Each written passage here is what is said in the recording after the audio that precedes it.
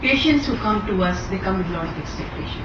When they come to hospital, before coming to the hospital, most of them go to a local practitioner. It could be a um, actual medical practitioner or it could be a quack. So they try to take treatment from them.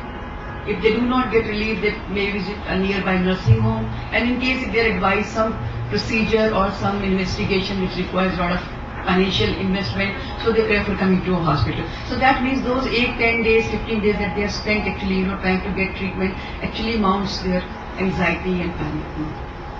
Plus, most of them are from lower socioeconomic strata. So the facilities that we all have or the uh, um, infrastructure that we all have, they do not even have those facilities. So as a result, they are already more deprived and stressed out. When they come to us, they come with a lot of expectation, but here we are already overworked, overoccupied, so we do not have that much of that kind of mindset to actually sit and you know answer their queries. So in a way, we have a live wire in our hand, and they come with another live wire. So when these two live wires come in contact with each other, what happens? Chances are there will be spark, will blast. That's why the number of conflict cases in the hospitals between the patient and the hospital staff are.